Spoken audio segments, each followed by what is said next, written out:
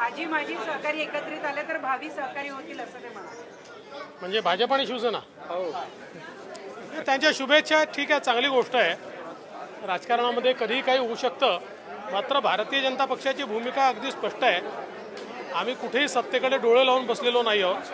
आम्ही सक्षम विरोधी पक्ष नेत्याची भूमिका आणि विरोधी पक्षाची भूमिका ही या ठिकाणी करतो आहोत. आणि हे जे काही अनैसर्गिक अशा प्रकारचं गठबंधन तयार झालेलं आहे हे फार काळ काही चालू शकत नाही. मला असं वाटतं कदाचित माननीय मुख्यमंत्र्यांच्याही लक्षात आलं असेल की अशा प्रकारचं अनैसर्गिक गठबंधन करून महाराष्ट्राचं नुकसान होत आहे आणि म्हणून त्यांनी मनातली भावना बोलून दाखवली असेल.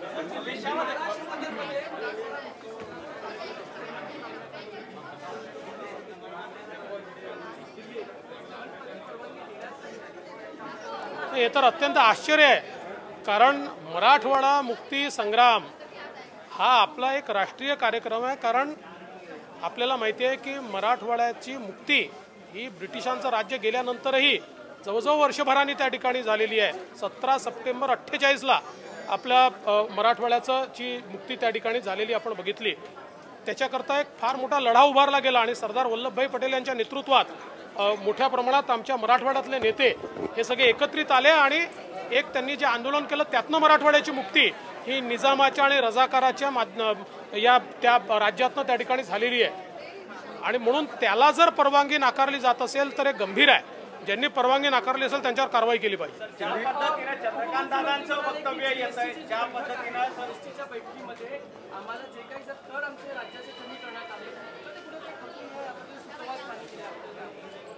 मी अतिशय स्पष्टपणे सांगतो काँग्रेस राष्ट्रवादी काँग्रेसची भूमिका दुटप्पी आहे.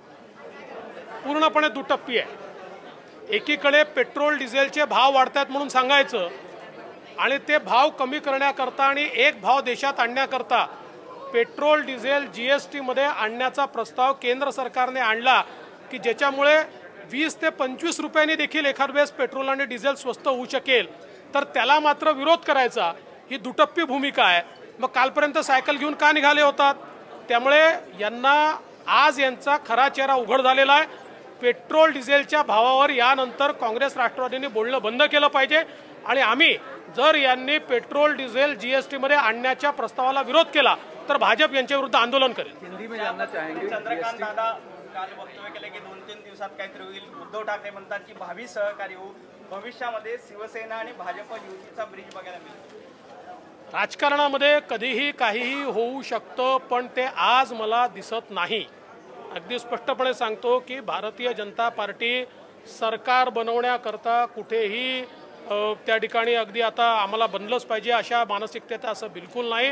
आम्ही विरोधी पक्षात काम करतो सक्षम विरोधी पक्ष म्हणून काम करतो भारतीय जनता पार्टी महाराष्ट्राचं जे काही महाराष्ट्राचे लोकांच्या मनातल्या आशा आकांक्षा अपेक्षा आहेत त्या घेऊन सरकारपुढे आंदोलन करते. आहे सरकारला उत्तरदायित्व हे भारतीय जनता पक्ष शिकवत आहे.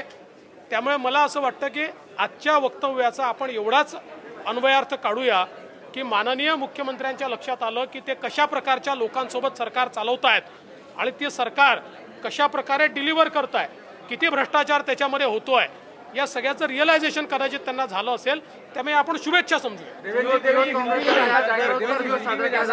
कि जिस तरीके से मराठवाड़ा मुक्ति जिस तरीके से मराठवाड़ा मुक्ति दिन के दिन मुख्यमंत्री चाह रहे हैं कि पूरा जो अभी के सहकारी हैं उनसे मुक्ति मिले और नए सहकारी बने पुराने। तो देखिए अगर उनको ऐसा लगता है कि इन सहकारियों से मुक्ति मिलनी चाहिए तो मैं ऐसा मानता हूँ कि एक प्रकार से एक अच्छा रियलाइजेशन है क्योंकि जिस प्रकार का भ्रष्टाचार आज इस सरकार के माध्यम से हमको देखने को मिलता है तो शायद कहीं ना कहीं मुख्यमंत्री जी को इसका रियलाइजेशन हुआ होगा। भारतीय जनता पार्टी की भूमिका बहुत स्पष्ट है। हम विरोधी पक्ष में काम कर रहे हैं, हम कोई सत्ता के पीछे दौड़ने वाले लोग नहीं है। लोगों के प्रश्नों को हम जनता के प्रश्नों को सामने रख रहे हैं उसके ऊपर आंदोलन कर रहे हैं जनता के लिए लड़ाई कर रहे हैं और हम लड़ते रहेंगे। जीएसटी को लेकर जिस तरीके से कांग्रेस विरोध कर रही है और सरकार कह रही है कि जीएसटी को जीएसटी के अंदर अगर पेट्रोल डीजल को लाया गया तो वो विरोध करेंगे। देखिए इससे कांग्रेस एनसीपी का असली चेहरा सामने आया है। ये लोग पेट्रोल डीजल के रेट्स को लेकर आंदोलन कर रहे थे। अब पेट्रोल, डीजल के रेट्स को ऐतिहासिक रूप से कम करने के लिए उसको जीएसटी में लाने का प्रस्ताव केंद्र सरकार लाती है तो उसको ये विरोध करते हैं। ये बिल्कुल इनका आज असली चेहरा सामने आया है। और अगर पेट्रोल, डीजल को जीएसटी में लाने के लिए कांग्रेस, एनसीपी विरोध करेगी या ये उद्धव ठाकरे जी की सरकार विरोध करेगी तो हम उसके खिलाफ आंदोलन करेंगे, क्योंकि जनता के साथ ये बेईमानी है।